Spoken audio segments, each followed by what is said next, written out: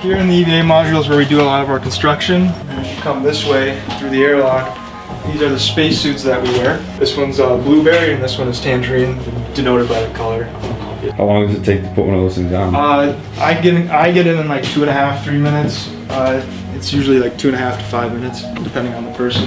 So now we're gonna go to the uh, plant module. We grew four types of plants: spinach, arugula, uh, green lettuce, and red lettuce. And then here they are. And we harvest them.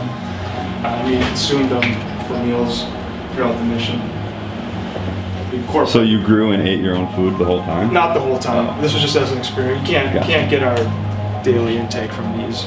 It was just to see if we could grow it in this plant module. This is the core module. This is where we spent a lot of our time. This is uh, the sleeping bunks. This is where I slept. I drew some pictures because I got bored.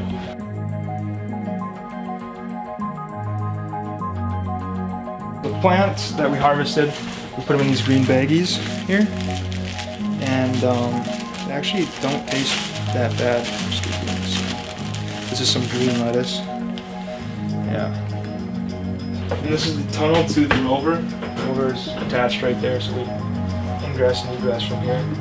Let's get to the rover. There's two suit ports on the backside, so we would walk. We put either don the spacesuits on in the EVA module, and then go to the rover, take them off, drive around, and then when we get to like a certain waypoint, hop back in the suits and then collect samples or do some testing out in the field and then hop back in and drive back and dock to the core module.